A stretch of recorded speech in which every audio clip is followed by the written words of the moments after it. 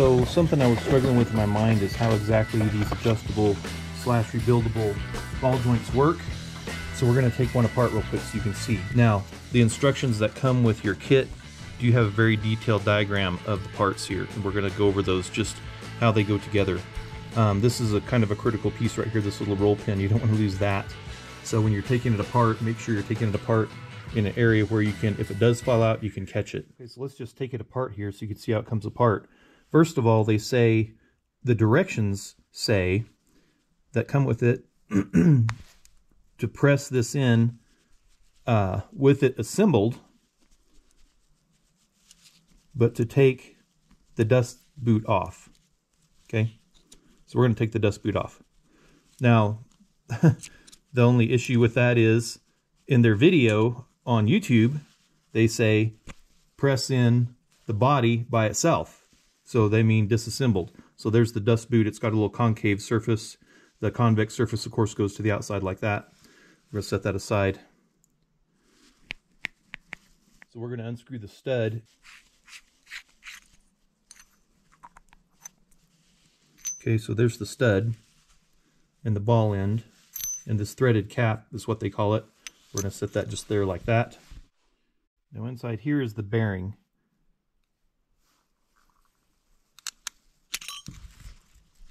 Now this lock ring, pay attention to how it goes on, or lock washer. They already have tabs bent one way. See how there's two tabs that bend down? So those always go here, okay? Onto the body, like that. These tabs are the ones you bend down. These other tabs here are the ones you, that you bend down to um, engage with these. Okay, so we'll set that aside. And out comes the bearing. That's actually the bearing. Okay, concave there, flat on the back. So that index is right there on the ball joint. Okay, then the other part is this preload washer is what they call it. And it does have sort of a side that goes toward the body. Okay, the indented side goes toward here, and you can see there's a little indentation there that that sits in. Okay, so make sure you just have a little grease where you're reassembling this if it's upside down, that that gets engaged uh, and stays in place when you drop it in. Okay, and then the other part is that little pin inside there. Now this little pin you will fall out, okay? So that's what it looks like. So put some grease in there so it holds it in place, especially if you're doing this upside down. I mean, with this like this, right? You don't want that to fall out of place. So put some grease in there to hold it in place. You can see how easy it pops out there. Okay, now that indexing pin has to line up with that slot right there. There's only one slot in the top of this bearing. And so when you go to put this together, if you put it together like this, it won't go in all the way. You have to rotate it so it drops in. Okay, our pin's still in place right there. And that lines up with this locking tab right here.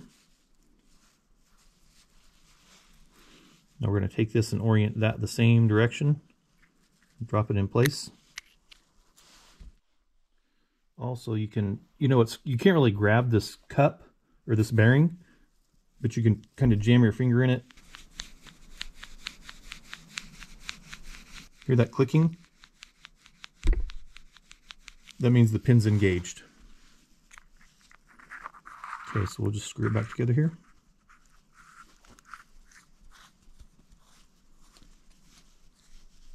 Now, of course, if you're rebuilding this on your vehicle, the goal is to be able to rebuild this on your vehicle. It's going to be upside down.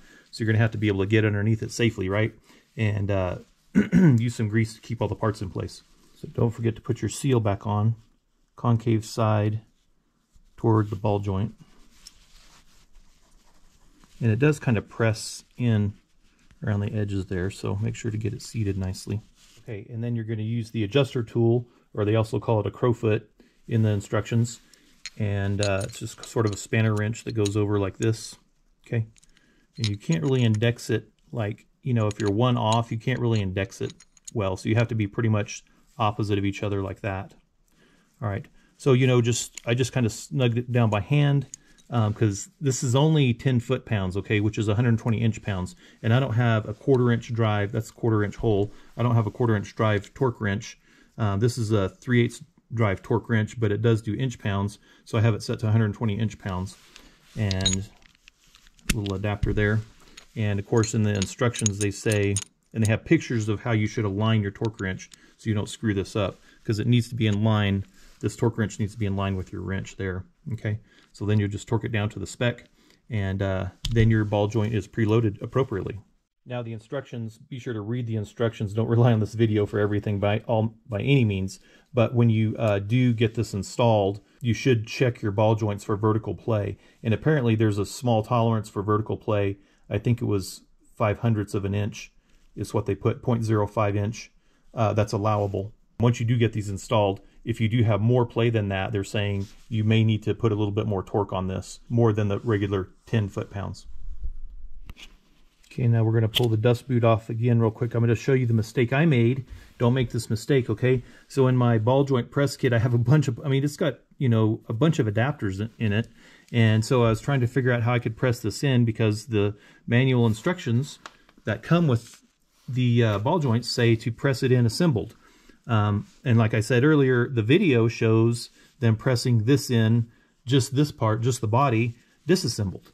And so what I did was I put this on here like this, because that's how I've pressed in my other ball joints. And of course, this is the part that goes over the end of the ball joint press, right? And it actually jammed on here. And so, because that didn't seat up inside, now I've got this part stuck on the stud and I can't get it apart. So that was super frustrating. So what I ended up doing was um, disassembling it and then holding this and then tapping this out. And so that finally worked and I was finally able to get it apart. It took me like 30 minutes to get that apart. So I'd recommend against not, not doing that if you don't have the correct fit to fit around this right here. They say don't press on the ears, obviously, but you need something that sits right on the rim there or right inside the rim uh, because that is not a good solution. So I did just uh, disassemble this, got all the parts out, and we're going to take that off. We're going to take that off. We're going to take all the parts out, including the little pin. Okay, make sure you keep track of that. So have a clean little work area that nothing else is going to, you know, knock everything off. And then you can put this, press this in, and then go ahead and assemble all the parts. Okay, now we've got the ball joints pressed in. I just flipped it over 180. So now we can work from the bottom of the axle makes it so much easier than getting underneath it. Okay, got the pin in. We're going to drop this in place. You hear it's locked in there. We'll get the lock collar on here. Two tabs down against the C. All the other tabs are up. Now we'll put the stud in.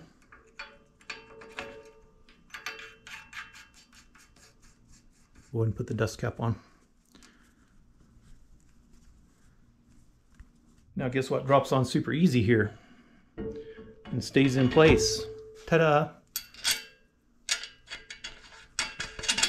Okay, let me caution you against something um, that I found out doing the other side. The instructions say to go ahead and torque these and then to torque this, put the preload on the ball joint itself after you torque these down. So torque these down first, then do that. So when you're torquing these down, you know, you'll torque into 70 foot-pounds or whatever the instructions say. That's gonna, as you torque it, it's gonna turn the knuckle this direction and stop it there. Keep the knuckle there once you get these torqued down. Don't move it back because what happens is, look, see those upper ears, those upper tabs? They're moving. So that's changing the preload on the ball joint right there. So keep it there, torque these down, and go ahead and keep the knuckle locked all the way. Then torque this, then lock your tabs, and then move your knuckle. So don't move your knuckle until you get all this done, okay? And then that'll keep the appropriate 10 foot-pounds of preload on the ball joint there, and you won't screw that up.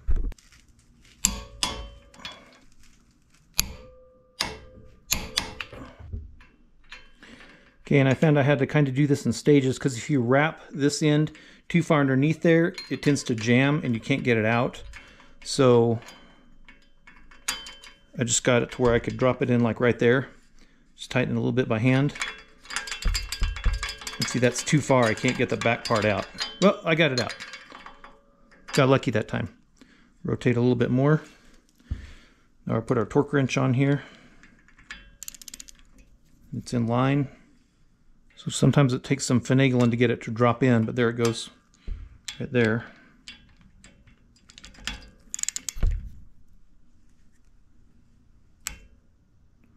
So there's 10 foot-pounds right there. That's it. Okay. 120 inch-pounds. Now we're going to lock our locking rings in before we turn the knuckle. See if we can find a couple that line up. There's one that lines up right there. Okay, so let me get you in close here so you can see what we're doing. This tab right here we're going to bend up. And then we're just going to put the screwdriver in it, take a little hammer, tap it between those ears and that should hold it in place. They recommend doing two, so I can move the knuckle now that I've locked one in. This isn't going to change my preload, okay? So let's move the knuckle the other way and see if we can find another tab to bend up. And there's a half of one. it's not very many though. Clunk, clunk, clunk, clunk. That's a little bit of change there, isn't there?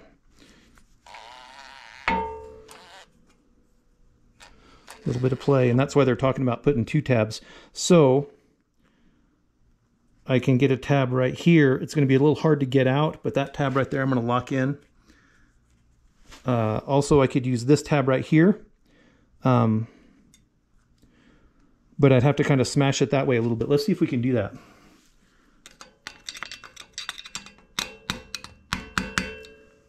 Okay, that's better. Let's just put a tiny tap on this as well get that the other direction.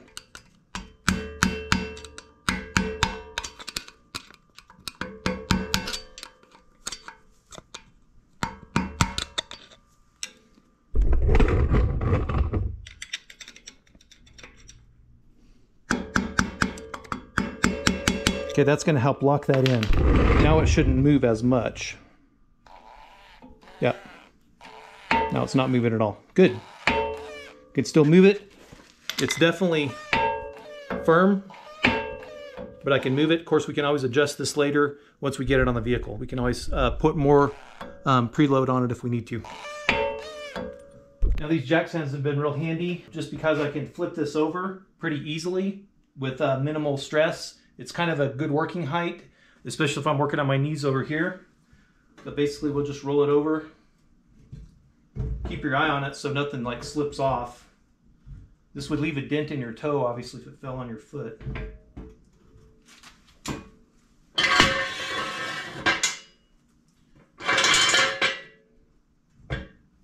Okay.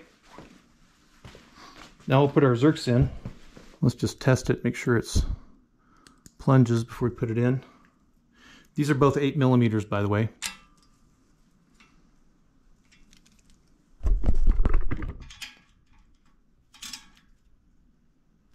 So this is the grease that Synergy recommends for their ball joints.